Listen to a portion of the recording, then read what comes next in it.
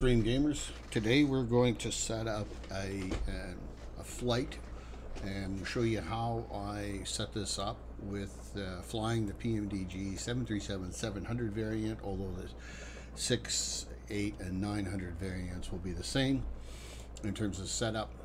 We are here in Vancouver uh, and we're going to set up as if we were going to be flying to LAX. Uh, we likely will not get through far enough to get to taxi and departure and so forth. But if we do, so be it. Um, so those uh, that haven't realized yet, PMDG now has a more functioning uh, flight bag here. We will be using that. Uh, there will be a few pieces of, of uh, software, uh, websites, and so forth that I'll, I'll be using in order to, to do this setup with. Now, I've gone ahead and created a flight plan already in SimBrief. Uh, however, I'm going to walk through it again so you can see how I do it. This is this is SimBrief. Go ahead and create yourself an account. Um, it's free to use, um, unless of course you want to use the current IRAX cycles, which um, I'm this isn't a video about that, but it's it's more up to date.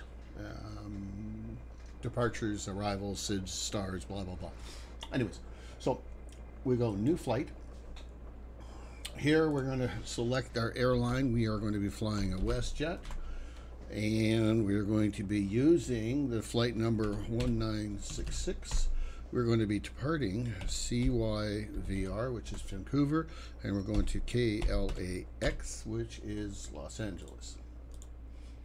We're going to be flying a 737. Uh, let's go in here and find my 737-700 economy. Um, so this is this is for all intents purposes the flight that we're going to use. There are varying different routes to use. Be aware that because I have a subscription to Navigraph, uh, Navigraph charts and so forth, it allows me to use varying different tools and features in here that you may not have because if you don't have that subscription. This can be done without it. I'm just I want to forewarn you. I'm going to use this here, but you can see there's multiple different um, um, flight plans in which I could use to to navigate. And you'll notice on the map here that is changing as I cycle through them. It isn't changing a lot but they are changing. This is the one I'm going to use. I can analyze it. I can say now my route is valid for the AIRAC cycle of 2312 which is what I'm using. The route distance is 974 nautical miles.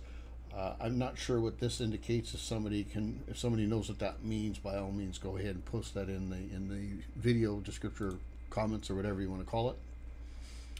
So the next step, um, you can save the flight plan, you can share the flight plan. So if you had a friend that you wanted to fly the same flight plan, you would hit save or share, you would copy it, that would copy it to a clipboard, you could paste it into an email or Discord channel, whatever, what have you. I'm going to hit generate. In the generation of the flight plan, there's a couple things that are going to happen here. One, we're actually going to get the full flight plan now generated. So now we get to see there's the there's the flight number, there's the call sign. We're going to Vancouver. We're leaving Vancouver, going to LAX. We have Vegas as our as our um, um, um, secondary airport. I forget what they call that. Uh, it'll come to me. Uh, we're going to fly at 37,000 feet. Our cost index will be 26. I'll go into this a little more details. There's our, our uh, distance and so on and so on. Here is our in route fuel. This is the fuel that we're intending to burn throughout the trip, but it, we are going to carry 20,677 pounds. I'm going to put a little bit more than that. Cargo, I'm going to probably leave that and so on. Um, I do have videos explaining these things a little more in depth if you want to go through my YouTube channel uh, Stream Gamerz again, um, and you can see them in there. So I won't go too too too much into into too much more detail about this. So now let's turn that off, and we are here on ground. So uh, I have chosen to start this as a cold and dark flight because I want to go through what is the start procedure in which I use. I am not a pilot. Um, these this is a procedure that I use, and it works. Um, and it's not flawless because you're going to probably see me make a couple of blunders go, hmm, why did that happen? And remember, oh yeah, I'm supposed to do this or do that. But at the end of this, you should be able to be sitting at a gateway somewheres or on a ramp somewheres and do a cold and dark start, import the flight plan, and get ready for taxi. All right, so let's uh, first thing we want to do is is we need to go ahead and we need to get some power going here. So the aircraft has ground power sitting here. Who that is, but anyways, we have a ground power unit sitting there, which gives us ground power. So if we come up here, there's our ground power. So we'll push that down, and we have ground power. So our next step is is going to be get the APU up and running um, so that we have um, APU or auxiliary power uh, working. Um, and then we can release the, the ground power and so on and so forth. So the way we get that started is we put the fuel pumps on. You really only have to put the aft fuel pump on. Um, but I always put them all on um, because that's just how I do it. So the APU starter switch is right here you're going to see this gauge is going to go up and it's going to come back down and then this light is going to be illuminated allowing us to put the APU generators on. So that's going to take a take a, a, a, minute or two to get that up. There's the low oil pressure light, meaning the APU uh, turbine is starting, which doesn't have any oil pressure to start with, but eventually, presumably, it will build some oil pressure, and, and that light should go out. Um, this is the waiting game apparently, which I'm not so good at. So I got fuel is on, right? Yes, fuel is on. This is going to shortly here in another 10 or so seconds, I would think this is, should start to fire up.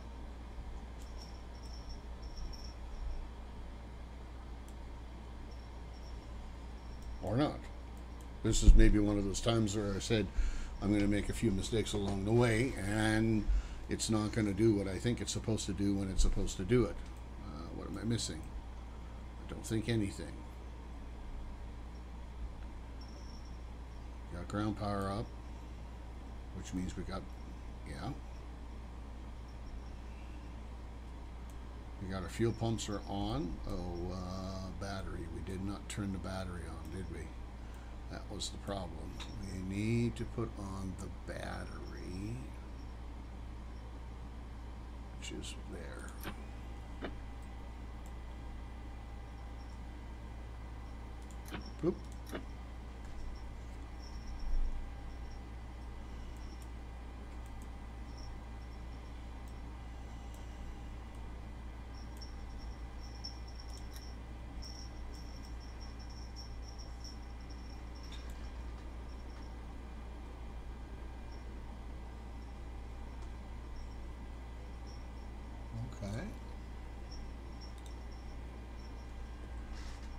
APU generator should be running already.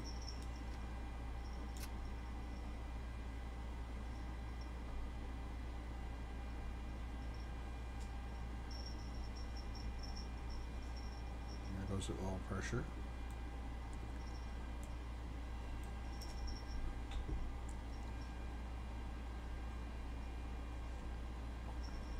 I've been flying, there it is.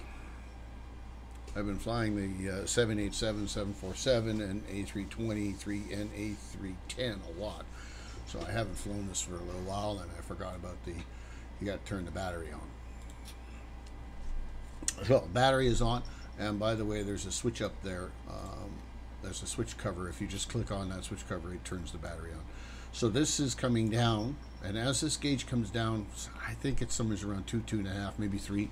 Uh, eventually, the APU light. Oop.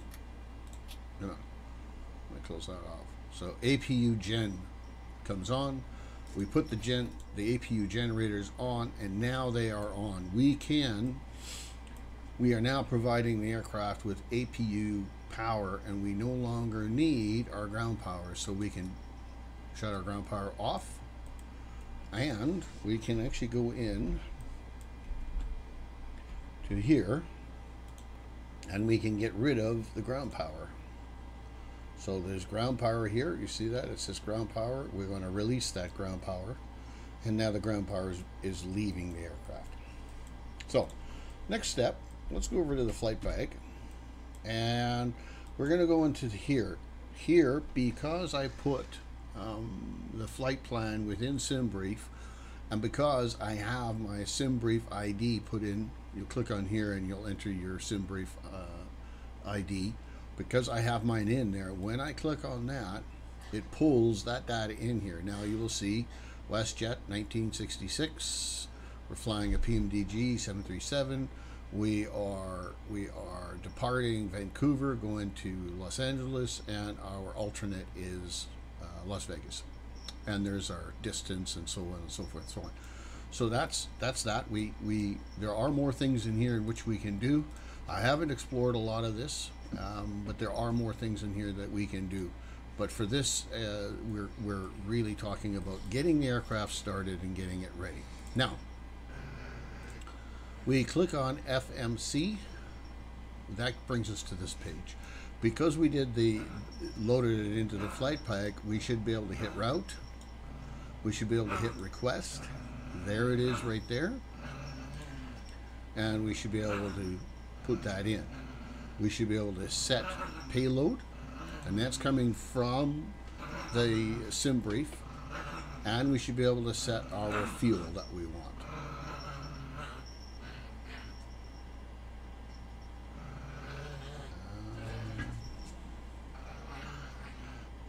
So we are loading the fuel, I believe is what we're doing.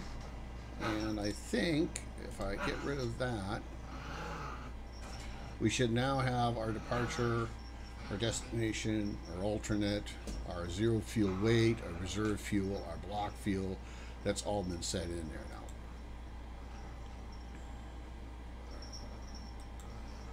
So now we are waiting for the request to come, and there's going to be a, um, a load icon here eventually if I've done this correct. There it is. Now we have to load the route in. So we're loading the route in. By the way, if you hear that growling, that's my little dog down there. I don't know if you can hear that if it's coming on the on the um, picking up on the microphone. So we're loading in the route. The, the, the route has been loaded. We're going to hit activate. We're going to hit execute. It is now in. Now when we go into here, we can do the same thing with this page here. We can hit request.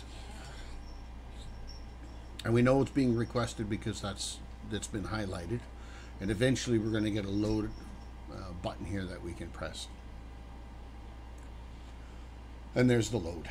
So we hit load and you'll notice now this has all been populated. And that's all been populated from SimBrief into here because we set we did set that up earlier. So without further ado I'm going to come up here now and I'm going to do the the uh, um, uh, what do they call it the alignment process up here somewheres is two switches for alignments. So we hit that, that,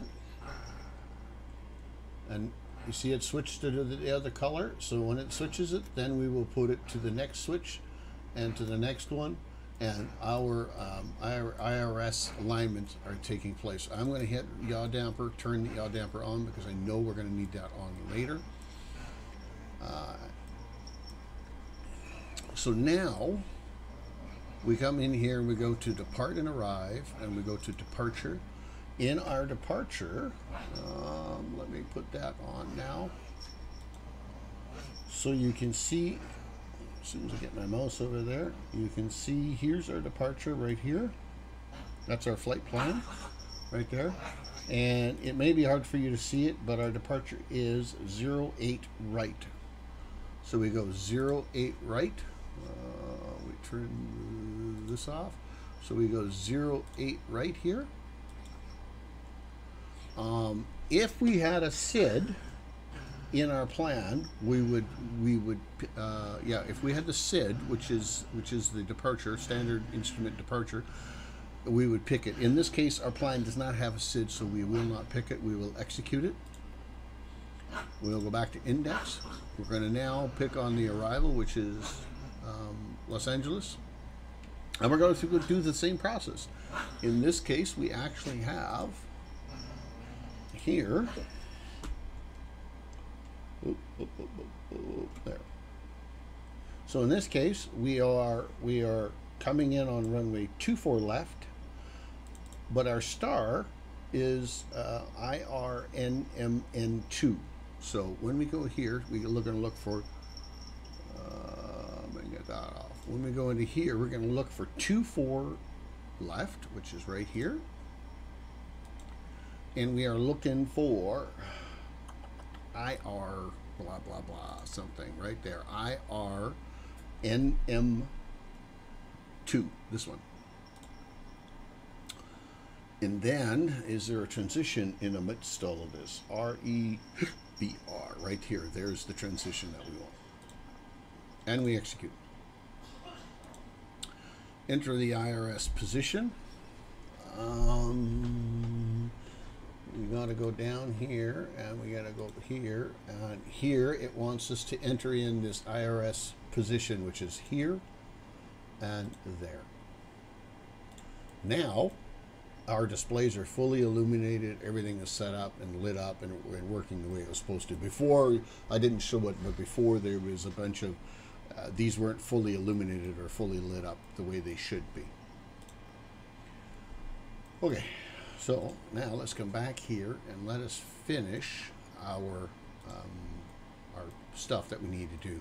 So we got our fuel on board. 737, typically your departure is with flaps 5 your center of gravity, which is CG, if you click on this once, it puts it down here. You click on it again, it puts it in. This is our trim. We're going to set our trim according to that. Now we're going to come here and we're going to set our set our V speeds, which is 130, 133, 148. So we click there once, click, and click, and we're done. We're going to come up and we're going to go back into here there's our flight altitude of 37,000 feet. So we want to climb 37,000 feet. So we're going to go up here and we're going to put in we're going to put in 37,000 feet. Um, I have an autopilot panel, but you you can just turn the dial. Turn 37,000 feet there. Now I always, as as as as practice, I will I will set my runway heading um, and I will set my my speed. Your speed, oops, your speed is 10 knots over. Let's go back down here. Your speed is typically 10 knots over your V2 V2 speed. So you should have your speed set to 150. I, I don't do that uh, but if you wanted to set it, you know, be more precise with it, that's where you should set it at 1, 150. I'm going to set mine at usually around 200. That's usually what I do. Uh, I also have a program here, and I'm going to get that loaded up. So I also use uh, Little Navmap, um, and Little Navmap is is a program that Let's turn it on right there. So this is Little Navmap. Because I have um, it set up in SimBrief, when I come here to Little Navmap, I click on this, I click on load, I click on create, and the same flight plan that I've just put into the sim now is in here. Now the relevance to that is I want to find the runway heading, the exact runway heading that I'm that I'm departing on um, departing 08 uh, left. So when we look at 08 left, there's 08 left, there's the heading, 84 degrees. So I come back here and I set this to 84 degrees. Whoa, 84, not 184. There. So the reason why I do that is that when on my departure, um, I can just immediately hit heading hold and it's going to hold that runway heading if I choose to, right? Um, I, I likely won't. I likely will hit VNAV. I'll wait for LNAV. Once I'm in the air, I'll turn on uh, um, LNAV. I'll engage the autopilot and we'll depart and it'll start climbing and leaving. Um, we're getting through this a lot quicker than normally, so I would probably, we may do a taxi out and actually do that just yet. Okay, uh, so we've got, our flight plan is now set.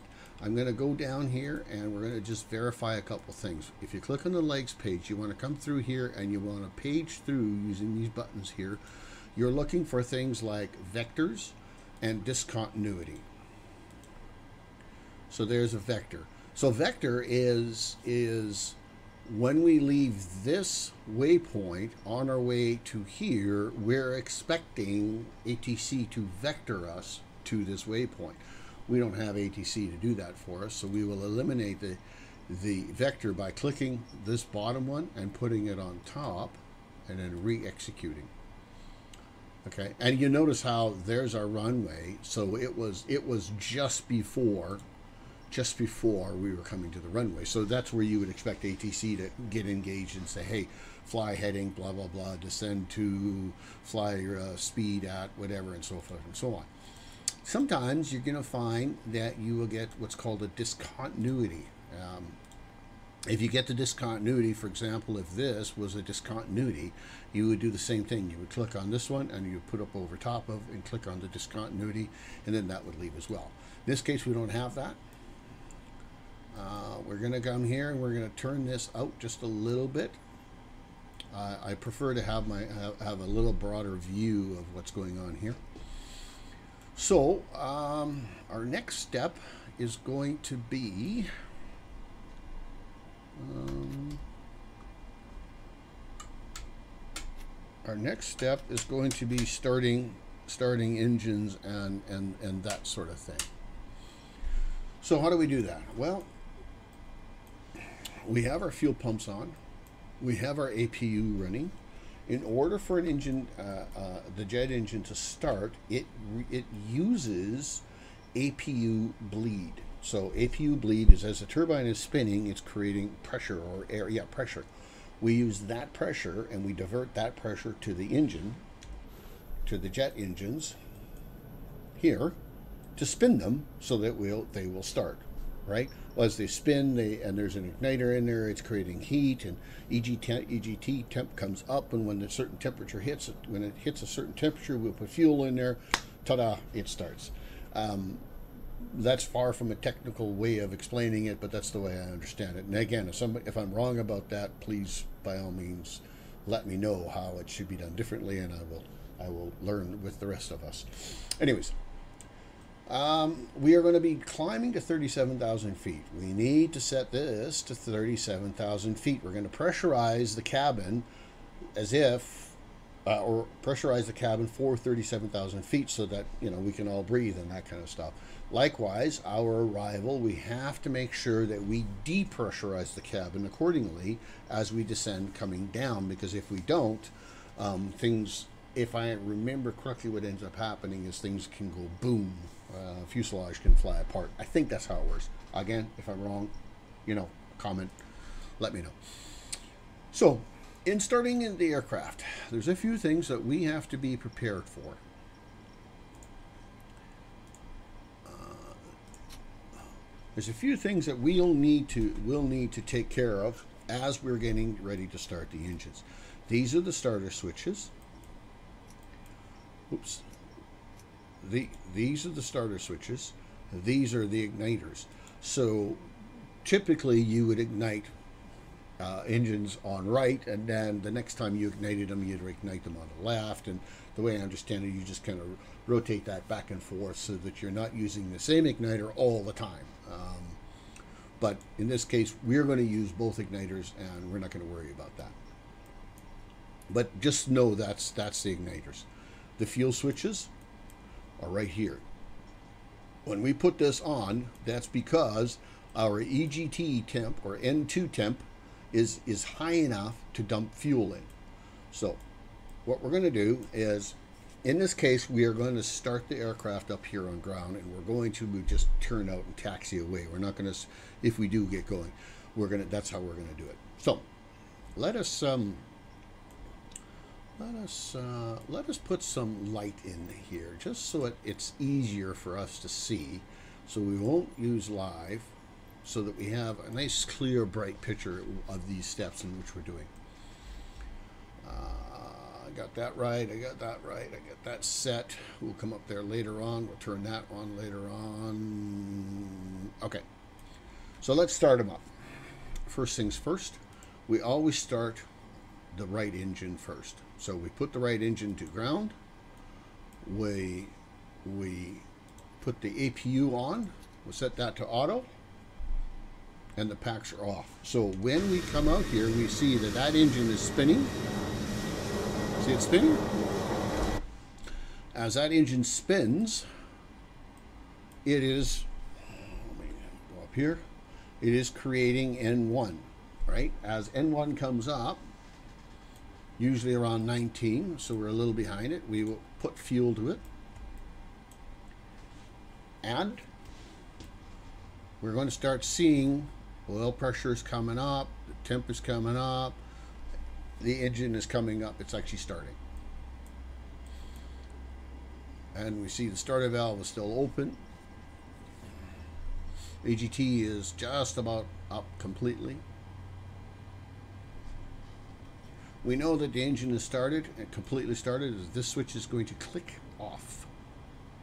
And it's going to do that here momentarily. There it is. It's off. So same thing can be done now for the uh, left board engine. We'll watch. Temperature's coming up. We can see that the N1 is coming up as well. EGT is 15. And there's our 19. That's usually what I look for is 19. And we get ready to go and fire it up.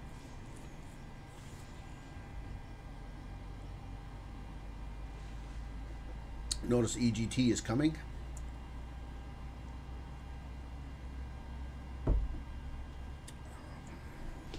And we're going to look up here and we're going to hear that distinct click.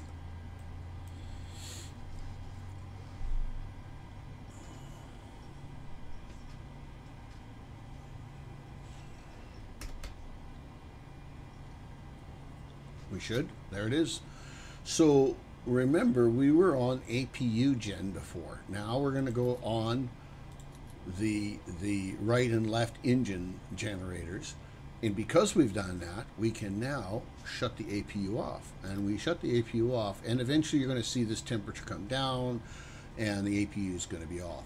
You'll notice that my center tanks are off because the center tanks don't have any fuel in them. If we look at this, uh, and we look at our center tank, well, our center tank's got a little bit of fuel, so we'll put them on.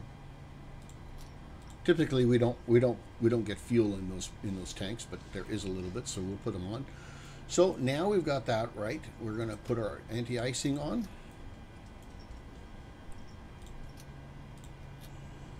Electric or uh, hydraulic pumps are coming on. We're going to set the packs to auto we're going to set the APU off and you'll see this is now coming up so this is intending to put air into the cabin and pressurize the cabin per requirements here, but also for heating and cooling and so on and so forth. All right. I think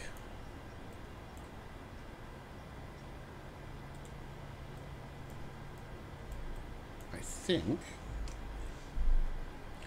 so right now we have two good engine starts. We got our flight plan set in there. We do still need to do a couple more things up here. A, we need to put the flight directors on. B, I put the auto throttle or arm the auto throttle. Now, I want to come back to the altitude. Um, ideally, you wouldn't be climbing directly out to 37,000 feet. There's usually some transitions along there uh, that, that you do that with. Um, I just always set it to my max cruise altitude and let the aircraft climb accordingly. All right. So you notice that We still have our, our air stair, I mean our stairs here. Uh, so we want that gone. So let's get that gone and get the cabinet, get the doors closed. Uh, so we go to menu, we go to FS Actions, Ground Services, um, next page, next page, Stairs.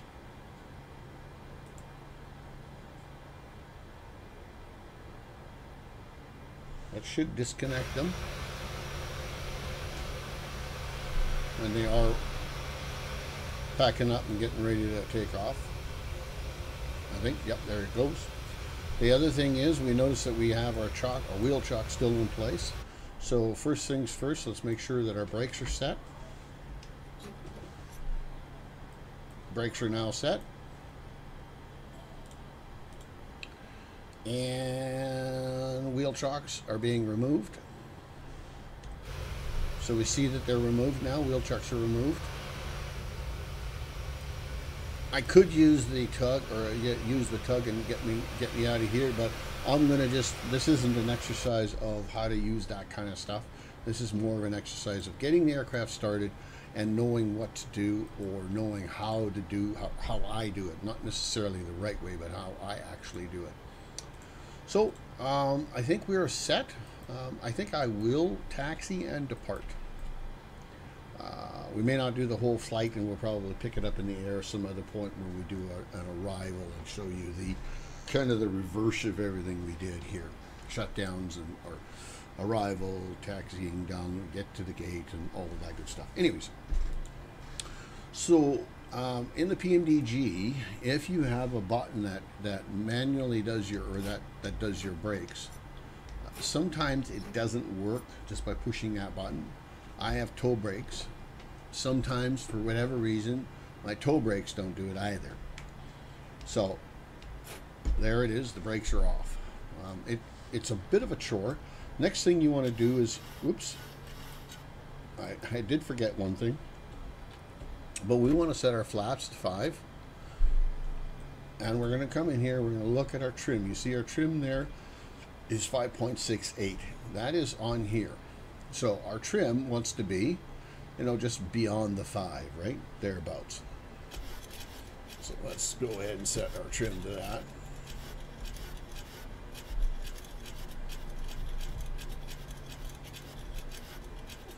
Yeah, probably somewhere in that area. And uh, okay. Um, we have our toe brakes set right now because our our um, park brakes or park brake is off. Um, so we are ready to just to start taxing. Um, yeah, we are. So now for those um, that were that are using that sim or that sort of thing, you guys know what you're doing here. But but you know, or, ordinarily you would you know call up for ATC to give you part departure and all of that good stuff, and then you would allow ground to tell you to go ahead and start taxiing. Um, we should have our taxi lights on.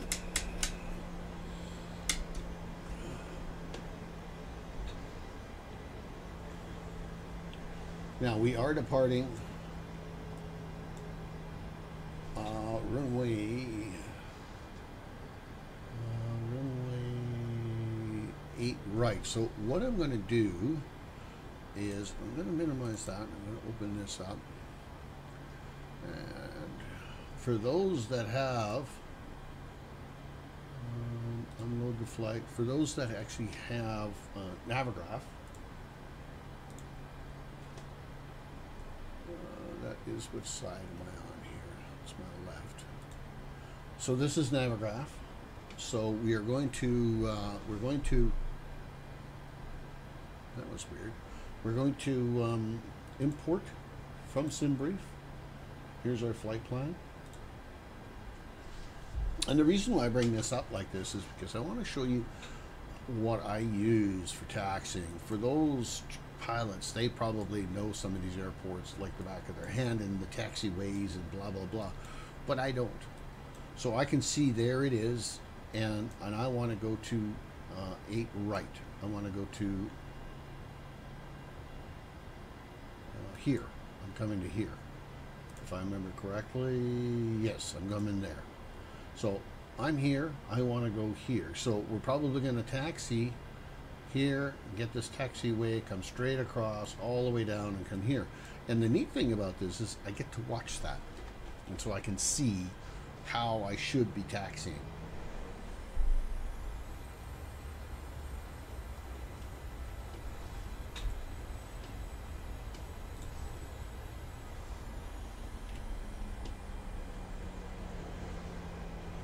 So you can see I'm taxiing on this line.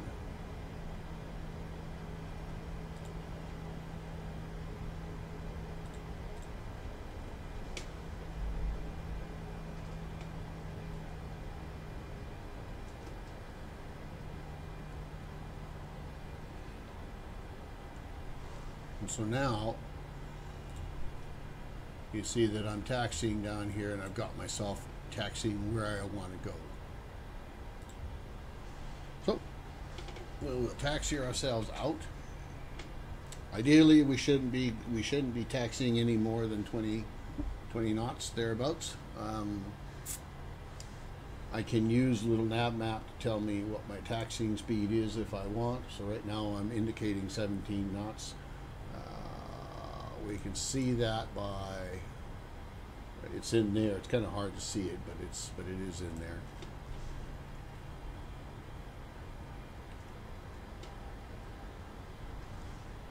Sorry, I uh, told you wrong. There's my speed.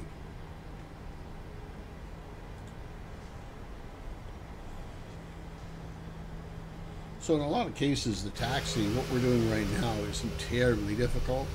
Um, and I'm kind of weaving around all over the place, but I'm doing that because I'm actually um, I'm trying to show various different views and, and how I do what I do. Uh, and then also try to explain, you know, the reasoning behind the method of the madness. So one other thing that you see when I'm outside, I can see my throttle. Now I set this up like this so I can actually see this. But really, when you're inside, you don't really need that because obviously you've got this, and you can hear the engines uh, powering up. I, I hope that you're able to hear the engines powering up. If and there goes the engines powered up. Okay, so we're just about to our hold short. slow her down a bit because we're going a little quick.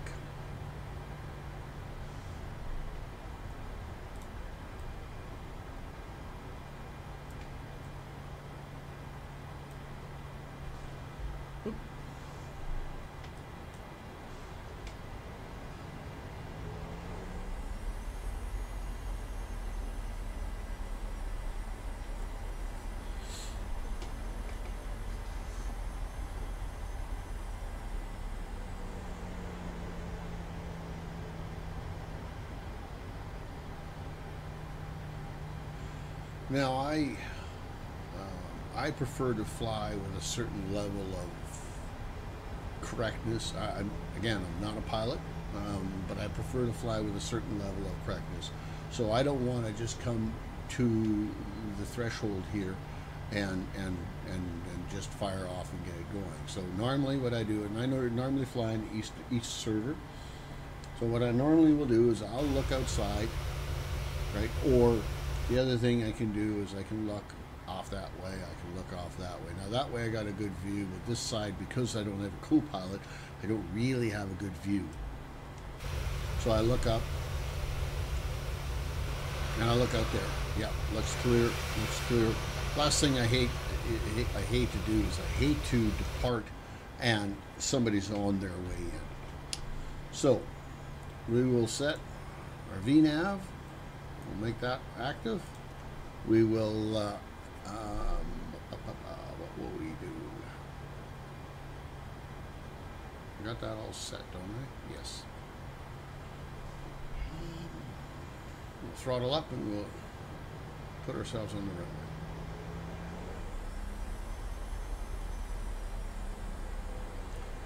Now you're going to hear, you're going to hear, and hopefully you can see down here the speed. Um, you should hear um, things like V-knots, um, uh, rotate. Um, I think the other thing you'll hear is, is a positive rate of climb. Um, right here is TOGA. So the idea, I'm gonna, I'm gonna stop here. I'm gonna explain TOGA a little bit as I as I understand it. Okay. So as I understand it, TOGA is takeoff. Basically, set your your thrusts for takeoff based on what you've set in the FMC. And so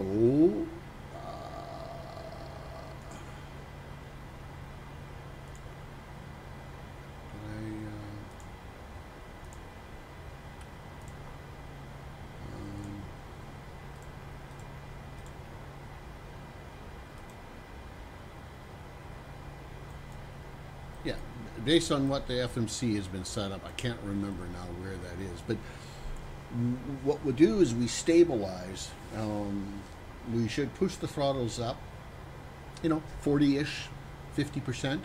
We should let them stabilize as the aircraft is taxiing down the runway. Once they're stabilized, once the engines are stabilized, and stabilizing is both of these indicators, or in the case of this, both of these indicators are equal. When they are, we then hit TOGA. Normally the TOGA is is here on the on the throttle quadrant, which is uh, is that the, that looks like it's disengaged. I thought TOGA was on here. Anyways, in this case they've put it right there. So I'm going to take brakes off. I'm going to slowly push the throttle forward. I'm going to let it come up. I'm going to let it stabilize. And then I'm going to hit TOGA. And you hear the thrusts, the thrusters come full, at 92%. Here, on the display, is that green line, and it's hard, it's called V naught. Right away it'll say V1.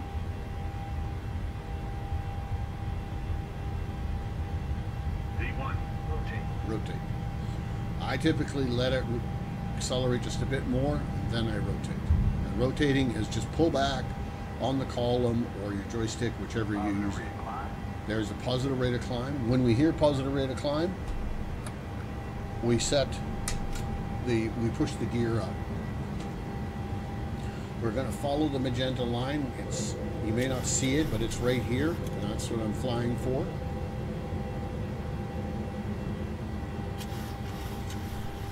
I'm going to hit the autopilot. I'm going to hit the LNAV, bring up one stage of flaps. You hear the, the, the throttle's coming back a little bit. We have to maintain a certain speed based on flap settings, as well as we have to maintain no faster than 250 knots uh, below 10,000. We're climbing.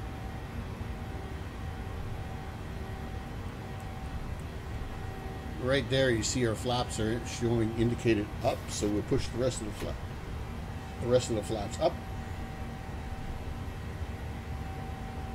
It's going to hold here at 230 our flaps are, are fully up. We know that because if we look whoops right there our flaps are fully up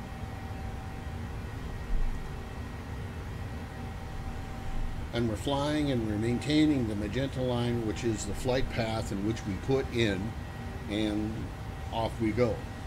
So that is what um, a cold and dark looks like.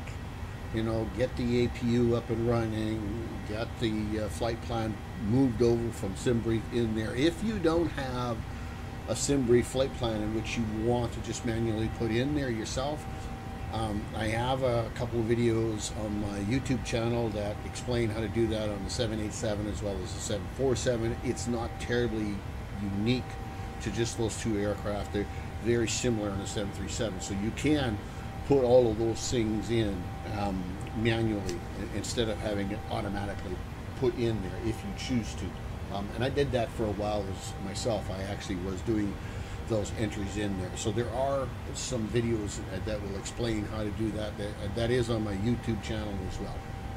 I don't think I have any on the Twitch channel. I'm actually kind of new to streaming on Twitch. Um, I've been doing uh, YouTube postings for quite a while already, but I thought I would uh, do some streaming on, on Twitch because why? Because I can. So here we go. We are flying away here. We are on our, we're on our way uh, uh, to um, LAX. Beautiful day. Here it is a beautiful day. However, if we were to go back here, I'm going to go back inside the cabin so we can get rid of all that terrible noise. Let me turn that down a little bit so you don't hear all of it. Um, and if we hit live weather, we will discover, aha, hang on, no, that's not what I want. We will discover, yeah, it's not so wonderful out here at all. It's actually quite, quite miserable. Um, this is actually live weather to what Vancouver is um, right now, I, I suppose. Um, but, yeah. So that takes us uh, up in the air, and we are on our way. Our probably next stream will be discussing the uh, preparation for um, uh, approach, arrival, landing, taxiing to the gate, shutting down, and all of that stuff. The PMDG 737, along with the 787, 747, and a whole host of aircraft, have this what's called Autoland. And so, for those that are not familiar with Autoland, Autoland is a function that the aircraft can actually land itself, put itself on the ground. Now, how accurate that really is and true in real life, I don't know, but it is really, really accurate um, uh, when you're flying it in, in the simulator. Um, the, the only thing you need to do is do the preparation um, to get ready for it but once you've done the preparation and the, the necessary steps to get ready for it, um, you will see. Uh, I will do an auto land into LAX. Uh, you will likely see this aircraft land itself. I will not have my hands on the controllers. Uh, it will land itself. There will be some things that I will do leading up and getting close to things like flaps is is one thing. I will ensure that I have my landing uh, flaps and speed uh, determined and then I will engage two autopilots. So you will see that over here we have A and B, and so we use A and B for an auto land, um, and they both cross-reference to one another. So A looks to B and says, "Yeah, are you doing what I'm doing?" And B looks to A and say, "All right, hey, are you doing what I'm doing?" Yes, you are. Okay, continue on. If those two do not um, concur with what's going on. If B says, no, hey, I want to go over that way, and A says, no, I want to go over that way, then the autoland will not work. Now, that's more real life like. That isn't in the sim. I don't think that's modeled in the sim for that to actually take place. Maybe it is, um, but I don't think it is. We are climbing, um, and I want to show this because I'll show the, the, uh, the other side of it as well. Right here, you can see our top of climb, meaning in 88 nautical miles, we should be at our cruise altitude of 37,000 feet. We are climbing at 18, we are at 18,000. So here in North America, when we hit 18,000, we set the barometric pressure to standard. I, I don't have a full grasp on barometric pressure, although I do understand that different barometric pressures have a bearing on the altitude, the true altitude of where the actual aircraft is. So if the pressure is this, you have to use that in your calculations to determine how far you are indeed actually off the ground. And I'm sure there's a much more comprehensive uh, description as to how that is or how that all works. Okay, so I think uh, I'll just go mental breakdown through my head here and make sure that I haven't missed some things that needed to be discussed or talked about that I haven't done on the preparation startup, um, importing the flight plan in, taxiing, uh, departure. I think we got it all.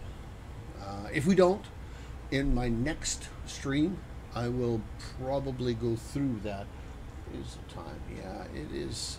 Um, so the flight is about two hours, and, and I'm, I'm, I could lay, leave it run for two hours, but it will just be dead time, and so I, I don't think I'll do that. I think what I'll do is, is I'll cut the stream here, and then um, I will re-pick up the stream um, once I am uh, probably 100 miles to top of descent or something like that.